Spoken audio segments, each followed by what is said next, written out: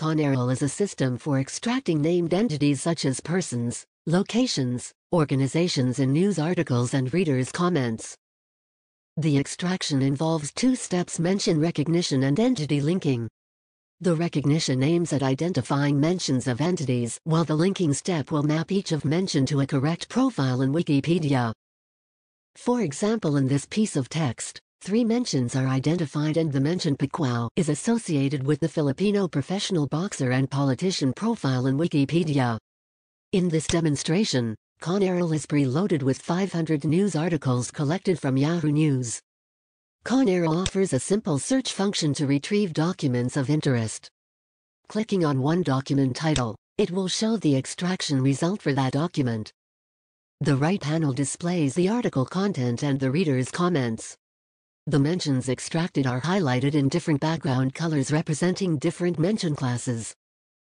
Each mention is linked to its associated Wikipedia profile.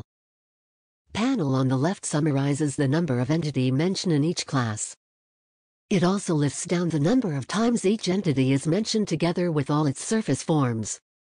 To obtain the linking results with highest accuracy and efficiency, CoNEREL implements pair linking algorithm and provides a visualization of this linking process.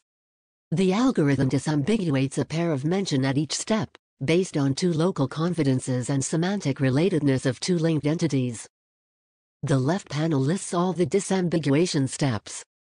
In the first step, our system maps the two basketball team mentions to their correct Wikipedia profiles because both the local confidences and the semantic relatedness scores are high. In a more difficult case, the mention Kobe in the comment is much more ambiguous. However, based on the co-reference with a mention in the article text, our algorithm successfully links the mention to the correct basketball player. Our pair linking algorithm is super fast and efficient. To get more insights, CoNEREL also provides graphical visualization of the linking process. At each step, two mentions are disambiguated and introduce a new edges into the entity graph.